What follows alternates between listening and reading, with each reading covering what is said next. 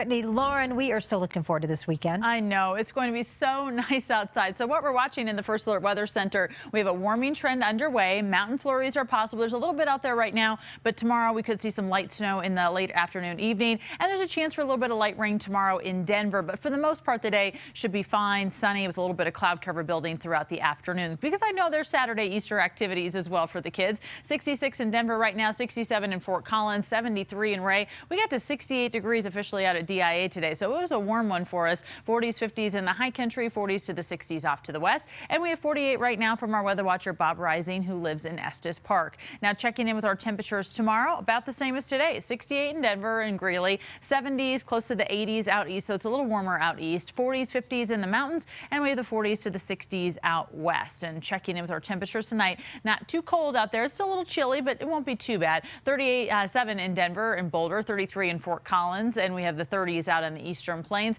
High country, lots of 20s, better than some of the single digits we had earlier this week and in the morning hours. It was certainly pretty frigid out there. So those 20s will feel nice for the skiers this weekend. And our satellite and radar, again, some cloud cover around the Denver area. We do still have some sunshine, a little bit of rain and some snow down in southern Colorado, northern Colorado. You guys are having a beautiful evening with clear skies and sunshine. So for tonight, we're clear. That little bit of snow will clear. And by tomorrow morning, we wake up to sunshine. A few more clouds off to the west, and then we'll see building clouds throughout the afternoon and into the evening evening for the western side of the state. We'll see some light snow, maybe a few little light rain showers around the Denver area and then popping out to the eastern plains. Won't last long and the rain should be fairly light. And again, it comes later in the day, so you should be able to have any outdoor plans early, still be a-okay. And we do have fire danger out there. It's still pretty gusty on our far eastern plains, anything from 37 to 43 mile per hour gusts from Springfield through Burlington. A little windy on the western slope as well from Grand Junction through Montrose and down into the San Luis Valley. So we do still through 8 o'clock tonight have red flag warnings for the eastern plains. Now that will, the wind will get better tomorrow, but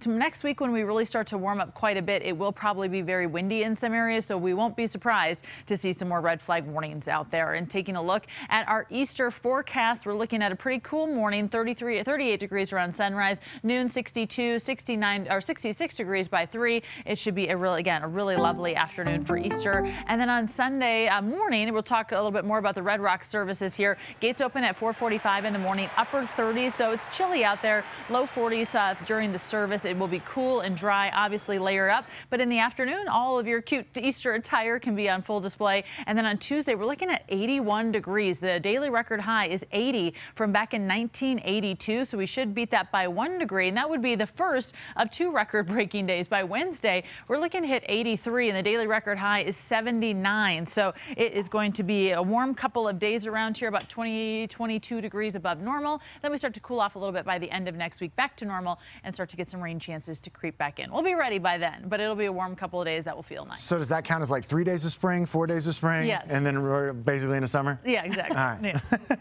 Yeah. well, Boulder Arts Week gets underway.